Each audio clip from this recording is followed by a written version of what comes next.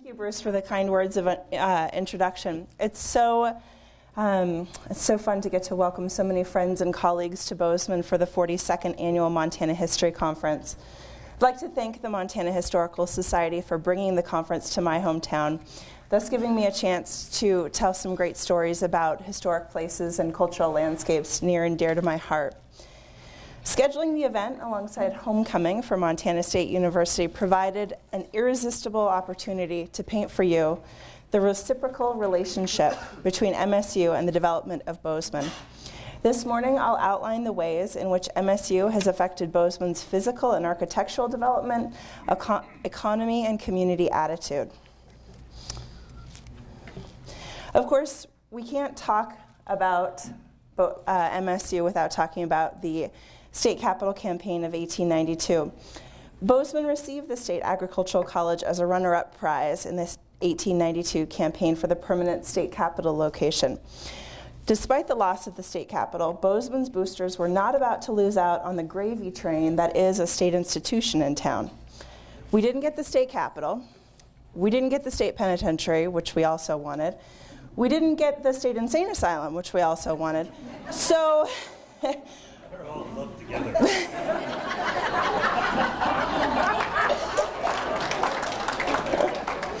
So instead, we got the State Agricultural College, and I have to say, I think you'll agree with me, this is not bad for fourth place. Um, Kirby and I really wanted to make that the, the, title of this talk, but we felt like maybe it was a little bit too punchy. we tried valiantly, though. Financial resources for the college uh, stemmed from the Morrill Act of 1862. It's one of the many Civil War, Civil War era pieces of legislation that utilized our nation's greatest natural resource, the land mass, to provide a state college for agricultural and mechanical development and education in each state. In a manner akin to the Homesteading Act and Pacific Railroad Act, the Morrill Act conveyed 30,000 acres of federal land per senator and representative to support the college. Federal cash subsidies for the college included $15,000 the first year to fund construction of buildings on the campus, to be increased $5,000 per year until the stipend reached $25,000. The Hatch Act of 1887 provided an additional $15,000 for the establishment of an agricultural experiment station to work in tandem with the college. Finding the right combination of land at the right price before the end of June 1893 was vital to securing the federal endowment. Community members let, met in Bozeman March 14, 1893, and recommended that 80 acres of the Gallatin County Poor Farm and property from the adjacent Capitol Hill addition be secured and tenured, tendered to the state of Montana. The Capitol Hill addition is one of the many additions to the city of Bozeman par- platted as part of the state capital campaign. Between 1890 and 1892, the city added over 300 blocks over a four mile stretch, and I'm giggling because the city at that time went from Rouse to Grand Avenues. Um, we certainly, it took a while to actually fill those lots and blocks in.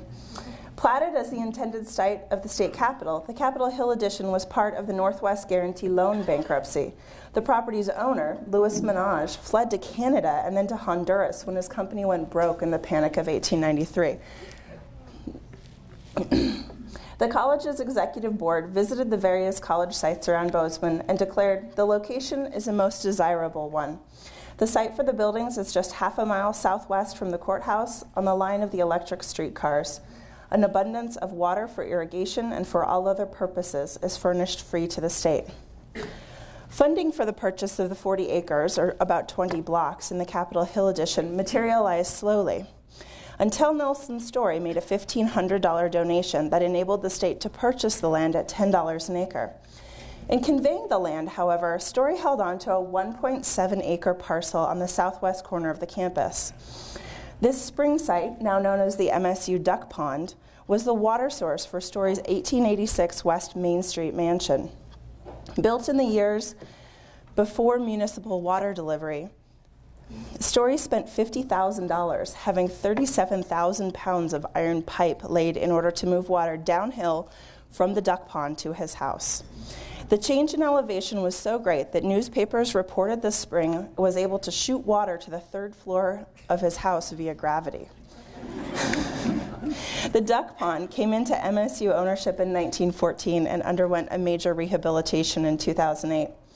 I tell the story, I tell the tale of the Story Waterworks because it underscores a theme of this presentation the role of topography on the development of Bozeman and the Montana State University campus, which now constitutes a little over 30, 93 acres on the southwest flank of Bozeman.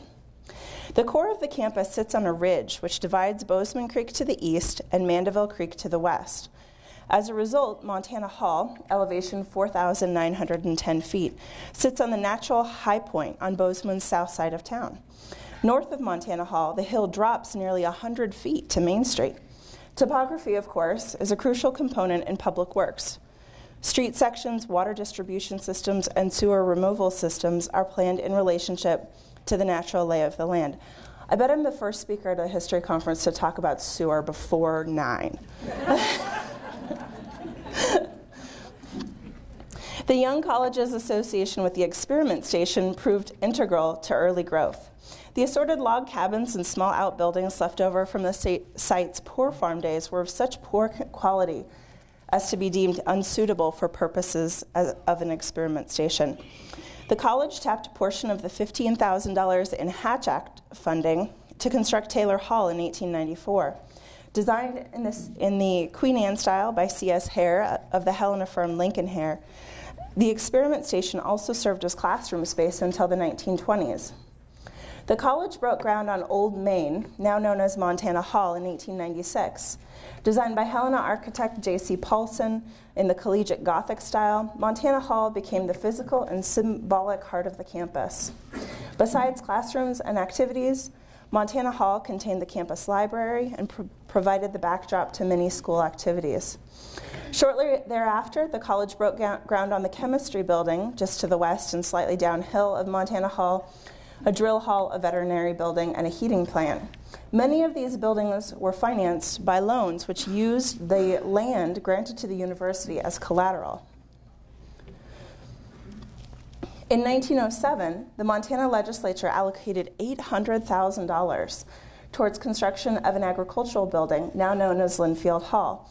The building was also designed by Link and Haire. Now, the funny thing about this picture is what you don't see you don't see in the photograph the hundreds of 25 foot wide by 140 foot deep residential lots platted beyond Linfield Hall. It took us until the 1970s to build on some of those lots.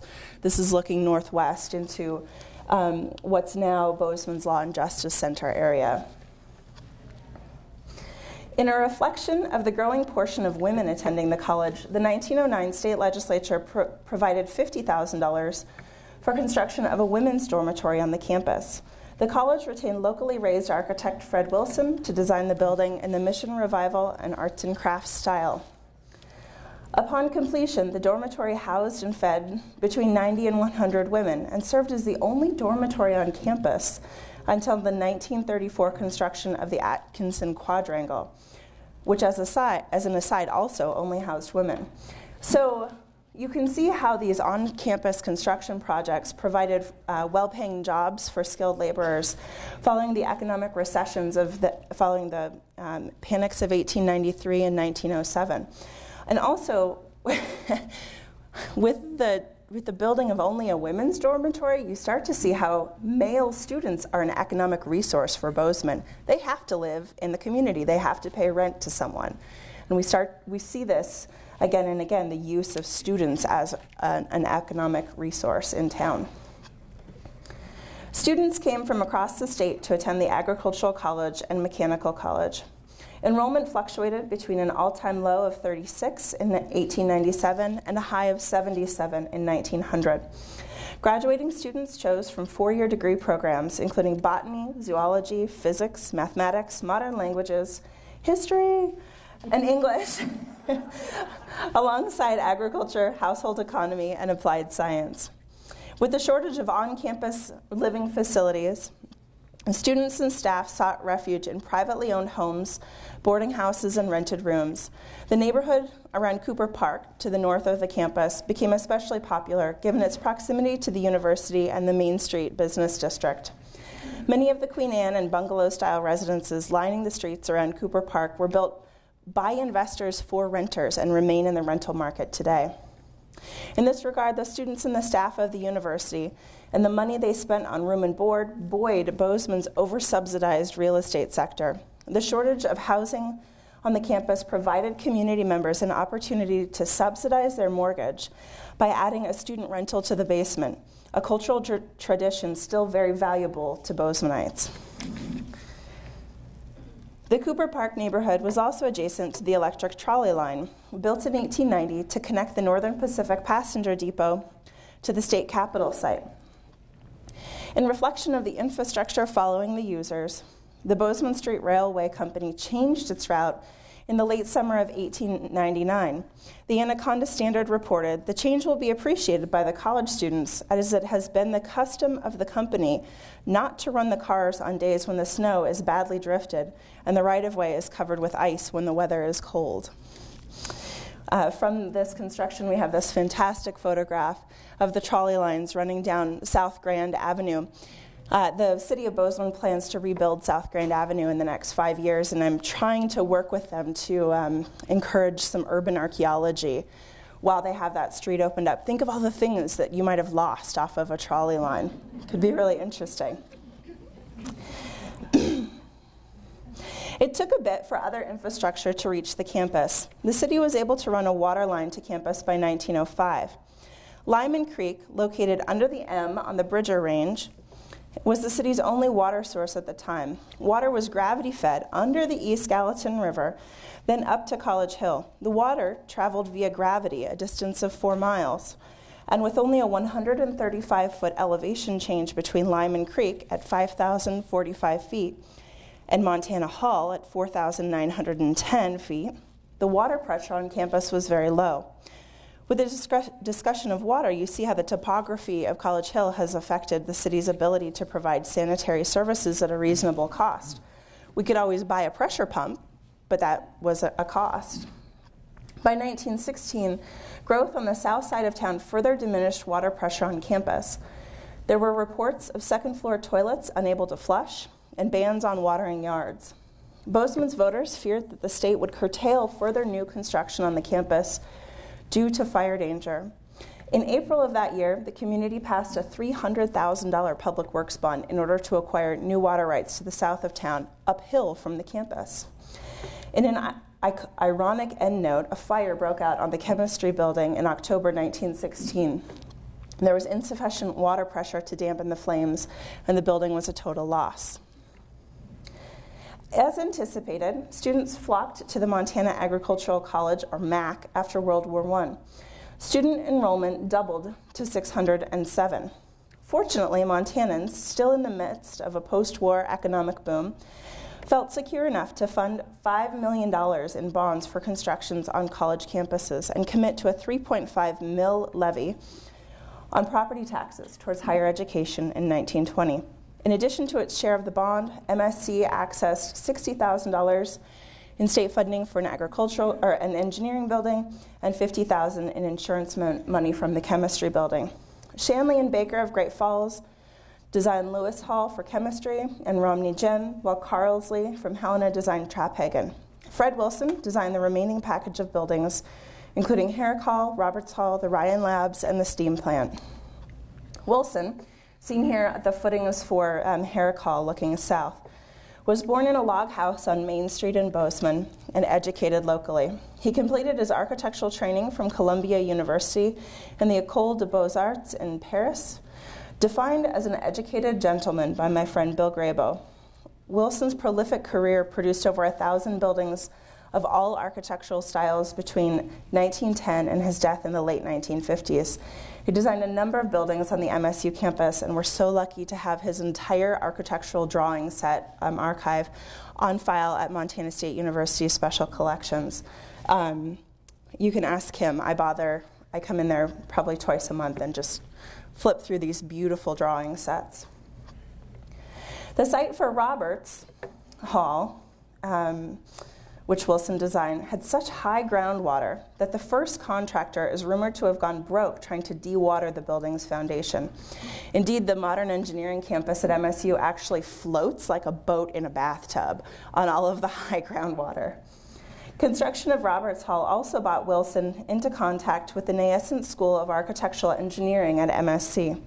Developed as part of a curriculum to make MSC the MIT of the West, and to save the state money by preventing duplication of degrees between the Bozeman and Missoula campuses, the architectural engineering program joined chemical and irrigation engineering um, in Roberts Hall. Architectural engineering occupied the third floor and included the Architects Club, founded at MSC in 1919. The program was led by W.F. Plew, who arrived to the Bozeman campus in 1913 as an assistant professor of civil engineering. A notorious perfectionist, Plew served as the campaign's super, or the campus's supervising architect. He received a master's in architectural engineering from the University of Illinois in 1920 before returning to Bozeman and his duties at MSC. Plew's architectural engineering skills impacted Bozeman and the state. He designed a number of buildings in Bozeman, including the Clark Apartments in 1914, the Martinsdale Apartments in 1926, and the Beal Park Recreation Center in 1927. Records on file at Montana State University in- indicate that Plew partnered with Willson to handle the architectural engineering for a variety of Willson's projects, including the 1913 addition to Gallatin County High School and 1914 Blackmore Apartments.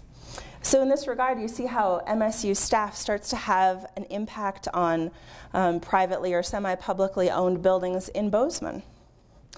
For the university, Plew designed a number of agricultural structures, including a beef cattle barn, a horse barn, a, a, and a poultry building for the experiment station.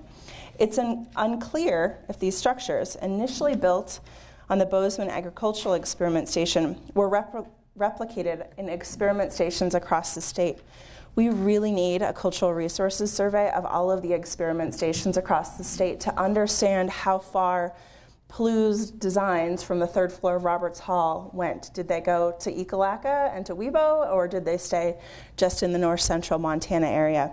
It's something that I would really like to see us collaborate on. Plew likely consulted on the structural engineering for Romney Gym. As a uniquely single purpose building, Romney anchored the southern terminus of the campus. Immediately on, upon completion of the building, the community began to see an economic benefit from the structure when 16 high school basketball teams arrived in March 1927 to compete in the state basketball tournament. Over 100 players and coaches utilized donated beds and linens to sleep in the gym during the event. Hundreds of parents and fans sought accommodations in Bozeman's hotels and boarding houses. I know that the Class C basketball tournament is still a dearly beloved uh, event on campus. Romney Gym was also the site of a revolution in college basketball, as the 1928 29 Golden Bobcat team combined a revolutionary fast break offense with a high pressure defense. The team went on to finish with a 36 and 2 record and be named the national champions by the Helms Athletic Foundation. Three players were named All Americans, and one inclu- inducted into the Naismith Hall of Fame. All of the structures were heated by steam via underground pipes and tunnels from the steam plant. As a fuel source, the steam plant depended on coal deliveries uh, from the Milwaukee Road, which was completed um, from the south into Bozeman in 1912. There's something really ironic about having coal deliveries over an electric railroad.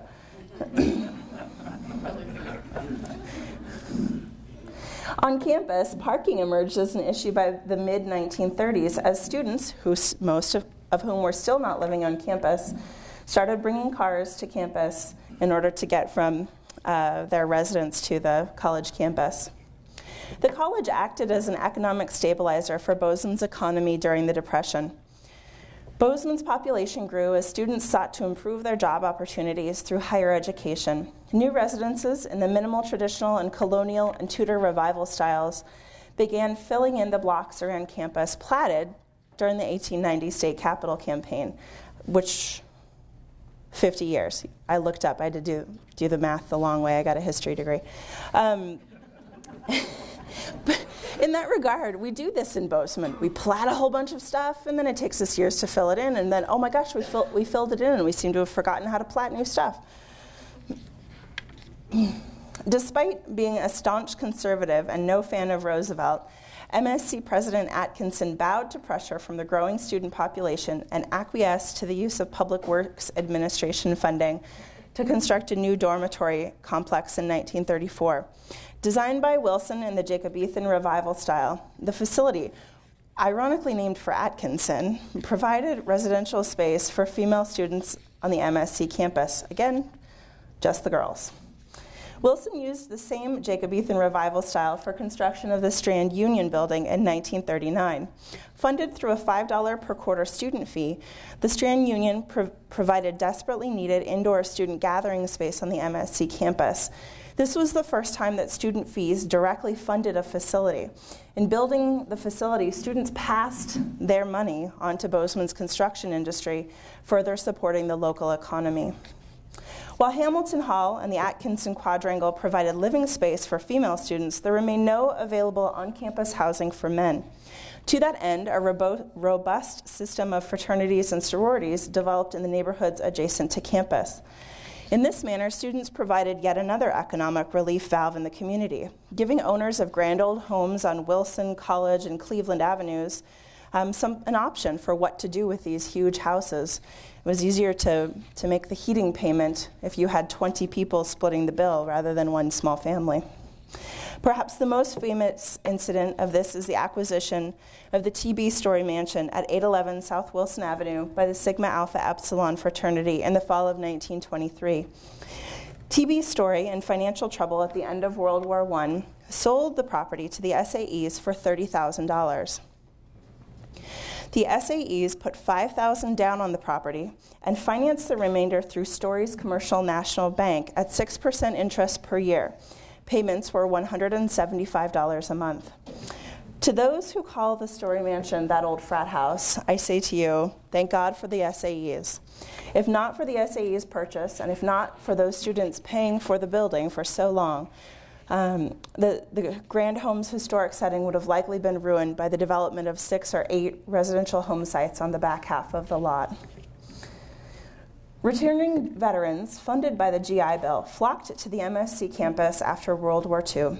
Enrollment was up 100% by the fall of 1945 and was 150% of the 1944 figure by 1946. The explosion of the campus population of students and staff triggered a major building boom, uh, both on campus and in the adjacent neighborhoods. Between 1945 and 1950, the faculty grew from 132 to 257, while enrollment fell briefly from its all time high of 3,165 in 1947. It never again reached pre war levels, and by 1960 stood at almost 4,000 two areas of development on the campus especially impacted and were impacted by the City of Bozeman's public works, specifically the construction of new dormitories and the construction of the field house.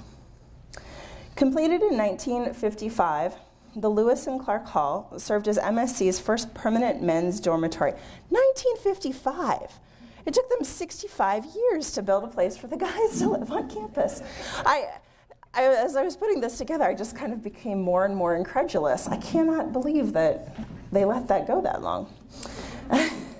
Lang, uh, Langford Hall, a 408 stu- uh, student men's dormitory constructed immediately to the west just five years later, shared dining facilities with Lewis and Clark Hall. Even though the two women's dormitories, Hamilton Hall and the Atkinson Quadrangle, already existed, many female students still lived in post, uh, substandard post war Quonset huts during the early 1950s.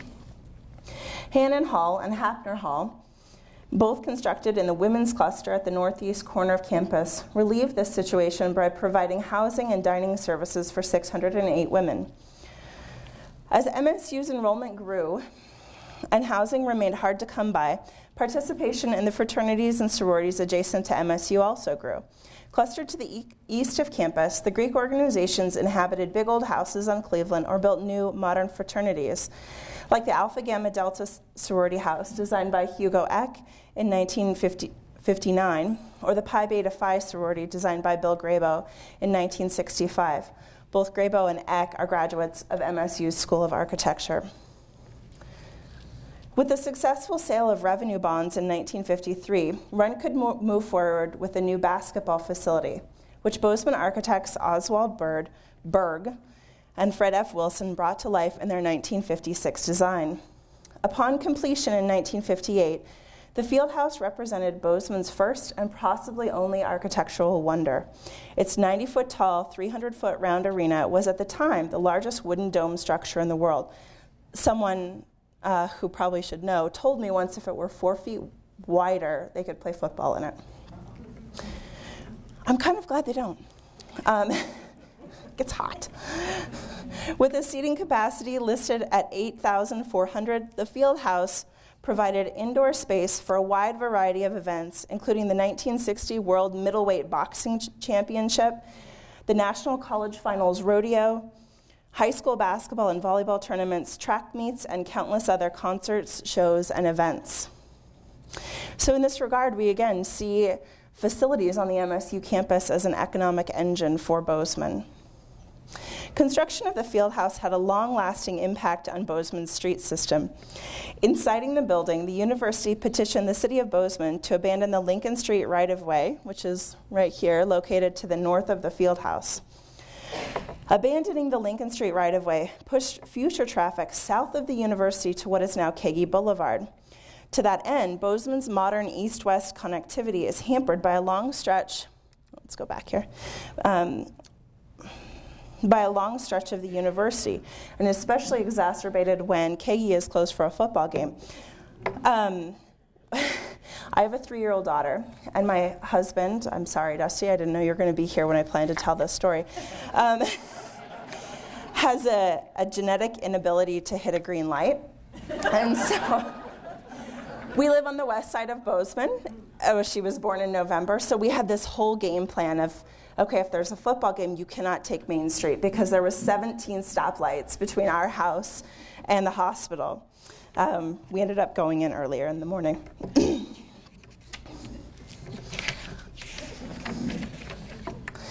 Closing the, north, the loop north of Montana Hall, including the Cleveland and Harrison rights of way, the South 7th right of way, and Garfield Street, also impacted connectivity through the campus. Campus is really now something that must be driven around rather than through. Mid century growth especially impacted Bozeman's sewer system. You can forgive me for not having a great slide for this. Um, we don't take pictures of guys putting pipe in the ground, unfortunately. Um, New construction on campus had the potential to overburden undersized lines. The construction of Lewis and Clark Dormitory in 1955 brought the issue to the forefront for the first time. Though the six inch sewer main on College and 8th Avenue was more convenient to connect to, the city required MSC to construct a larger connection to the 8 inch main on College and 9th, which could handle a larger capacity. The city anticipated further issues of this nature and called for the necessity of having an all over plan uh, for buildings to be constructed in the future of the campus and possible sewer loads for these buildings. The planned construction of the Hedges and Roskie dormitories brought the issue of sewer uh, pipe capacity to the head again in 1963. Located west of the ridge separating Mandeville Creek and Bozeman Creek. So, again, here's Montana Hall, which sits on that ridge. Here's, this is uh, Main Street in Huffine. This is Willson. This is South 11th Avenue. And this circle is the field house. the options included pumping sewage uphill to a main on 9th, or running a new main 1.5 miles downhill to the north to a point of lower elevation. MSC resolved the issue by partnering with the city of Bozeman to construct what they called the Far West trunk main, which opened large portions of the West Side addition, all of that stuff that was behind Linfield Hall, for residential development after 1963. The university has had an immeasurable impact on Bozeman's economy. The Morrill Act um, of 18, or excuse me, the Morrill Act guaranteed federal appropriations to support the campus, up to $25,000 per year after 1896, a value of nearly $715,000 using today's inflation. Bozeman's contractors were the beneficiary of the largesse of the 1919 and 1945 Montana legislatures, who used state budgets flush with post war cash to fund major new buildings on campus. Student fees adopted by a vote of the student body were also used to construct the Student Union Building, fund a health and fitness center, expand the Renne Library, and, to, and in a deal to construct the Reno H. Sales, now Bobcat Football Stadium. With the help of the Alumni Association to construct Reid and Gaines Hall in the 1960s, President Renne was in, introduced the idea of private fundraising to construct new buildings on campus. That tradition continues with the Jabs College of Business, a $25 million donation, and the Asbjornson Engineering Building, a $50 million donation. I would like to offer the following suggestion. Students are Bozeman's most renewable economic resource.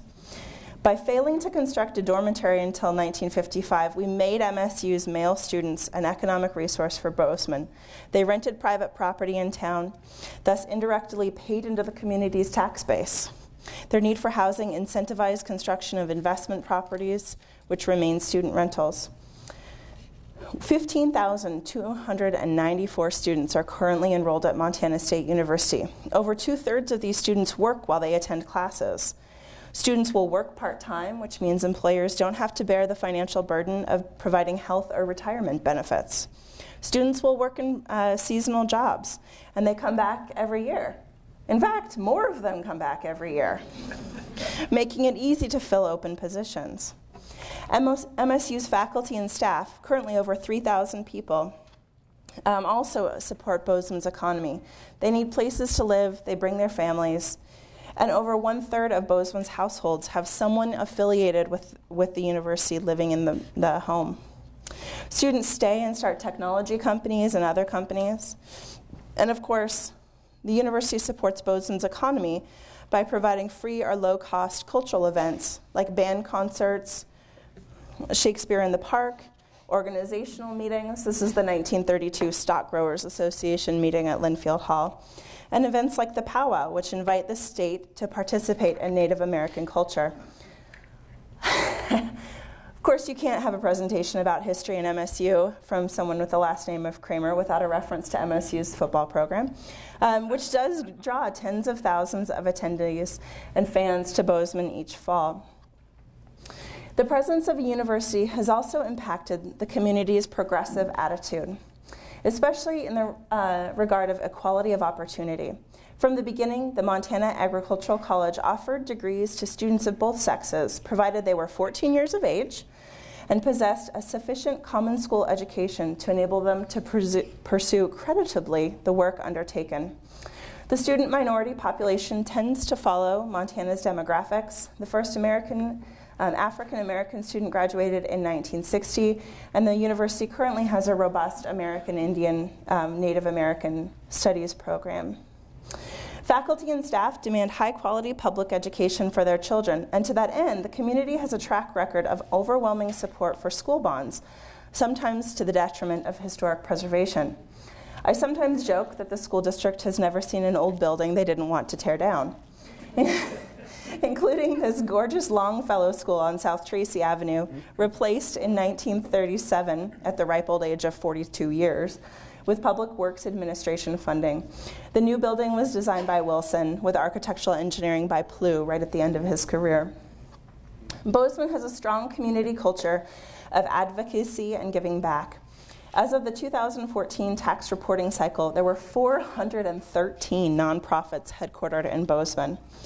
the same study found that Bozeman's nonprofits have a $1.1 billion annual gross economic output in the local economy.